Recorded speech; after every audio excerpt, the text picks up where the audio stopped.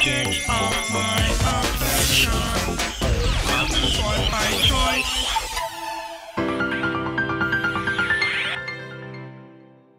Welcome back. You're with us on Tech Tree, and we're talking about art and tech now. If you're wondering exactly what we're talking about, well, one would think art is art. It's about the artist, and there is no space for technological advances. But why have boundaries? That's the question. Here are some extremely innovative artists who love experimenting with technology.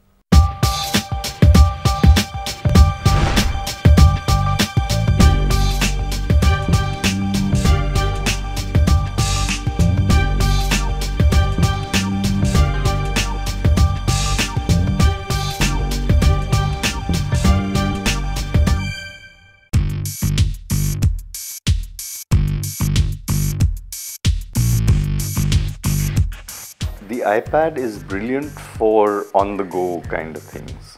If you want um, to sketch out an idea, there's uh, things like brushes, there's Omni Sketch, there's a whole set of applications that you can use. A lot of them draw free, and all of them are something that you can use to flesh out the basics of an idea.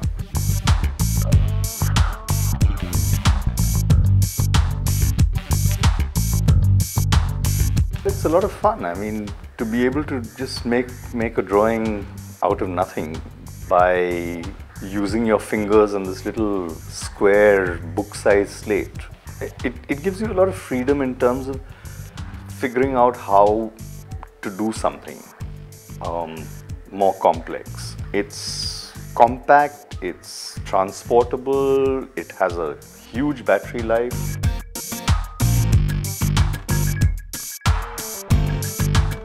There's iDough, for example, something that I really enjoy.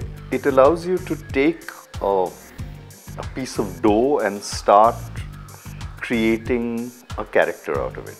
It's very difficult to carry large quantities of clay and you know stuff like that around.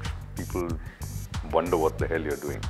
You can take a photograph and use Photogene or something like that.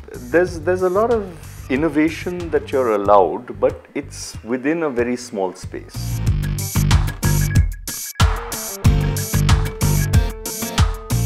Don't know. There's there's a feeling to charcoal that you can't get with an iPad. I mean, your finger on glass is very different from the scrape of charcoal on rough paper, um, or the feeling of ink on handmade paper.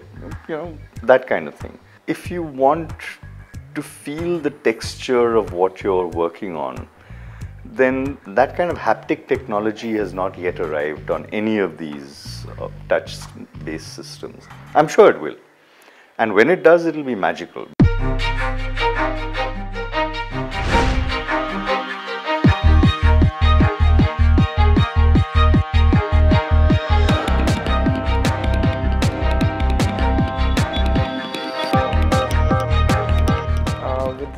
Part, uh, we've done two things. One is embedding touchscreens into a picture, and the other are the QR codes. QR codes are like barcodes, but they're smarter, and uh, you can scan them with any phone, a BlackBerry or a Nokia or a Sony Ericsson. And uh, the moment you scan a code of a particular picture, it will take you to the wiki travel page of that destination.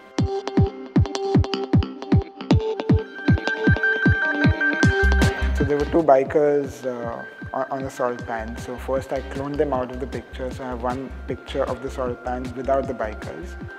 Then there's a cutout of the two bikers, which have to be uh, which have to be moved on two frames on the two iPods. So I put them back and cut out two pictures, put them on the iPods, which you can either manually move around or run it on a slideshow.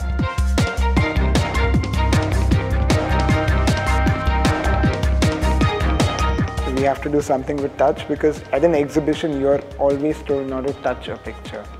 And you're like okay at this exhibition go touch put your fingerprints all over the place. It's fine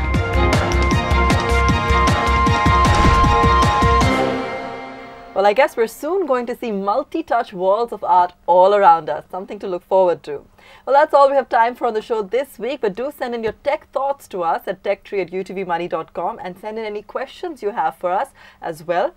Also, do remember to join in on the Tech Tree chat on Twitter every Tuesday between 11 a.m. and 2 p.m.